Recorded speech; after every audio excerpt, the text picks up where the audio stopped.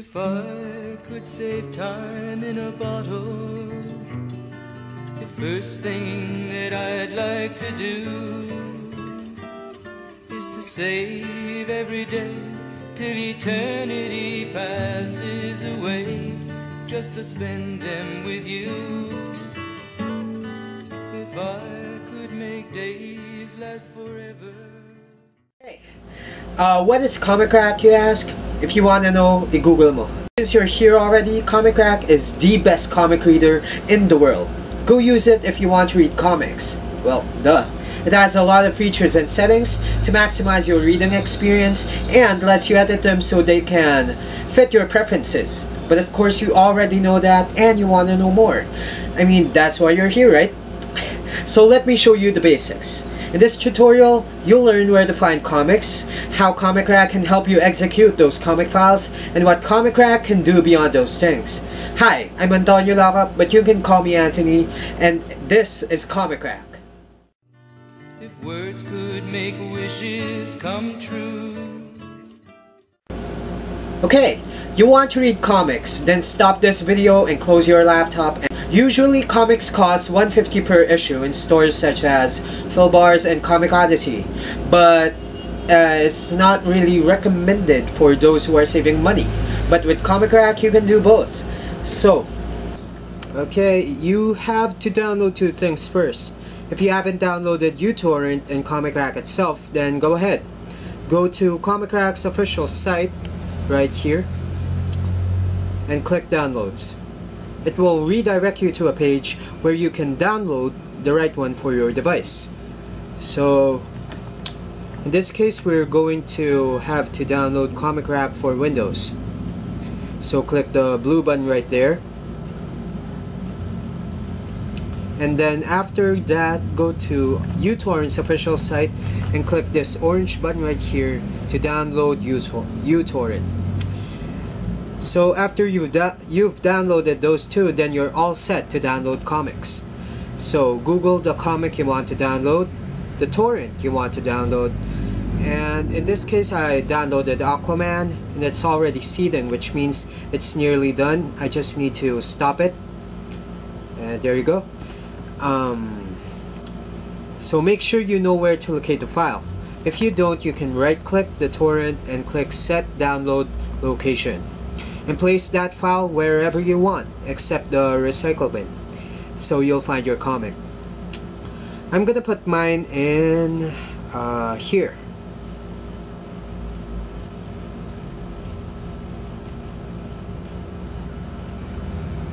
So select folder. You can click this either during downloading or after downloading you can also set the default location for all and future files, but that's up for you, but that's up to you to Google it out. Google it out. Now that we've got our reader and our comic, let's start reading. Okay, let's close these and open Comic Rack. When you first open Comic Rack, there will be an instruction booklet to guide you with the basics. However, mine's already downloaded um, a while ago, so I already closed that booklet. But in your case, it's right there. So let's open a new tab here for our comic. Yup, that means you can read as many comics as you want without the hassle of reopening each comic over and over again. So locate the folder where your comics are, are located. Remember we set the destination to Drake earlier. So open that here.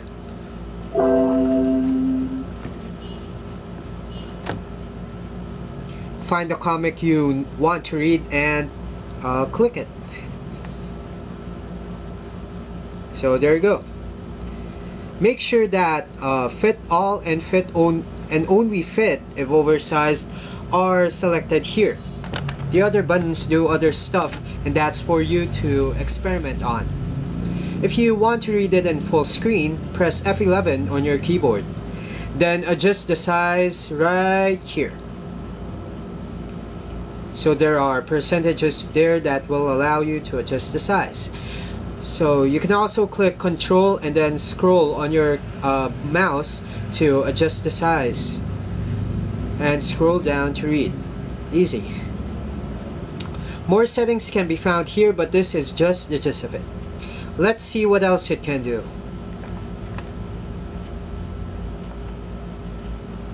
So to change how you view your collection, uh, okay, uh, you can click view right here.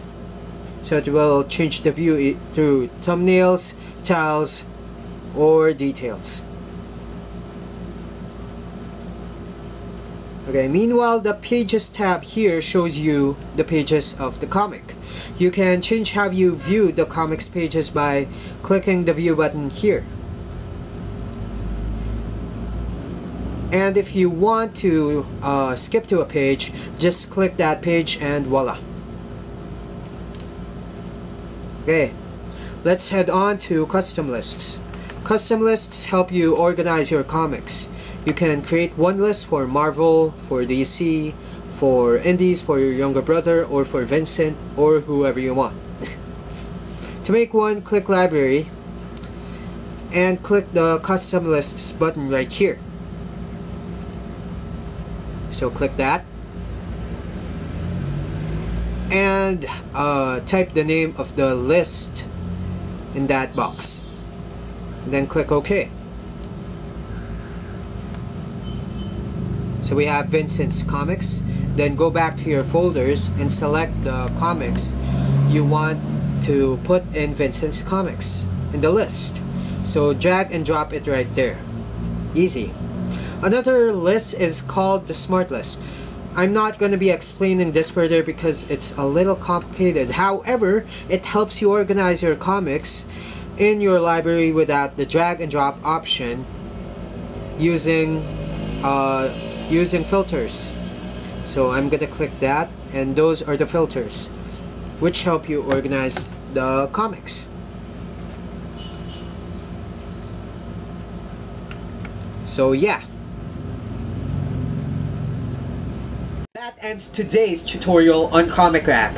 Those were just the basics, and if you want to know more, go to the website at www.comicrack.cyolito.com slash wiki or scroll on a bunch of YouTube videos. Thank you for taking the time to watch this. I'm Anthony and this is Comic Rack, the best comic reader in the world!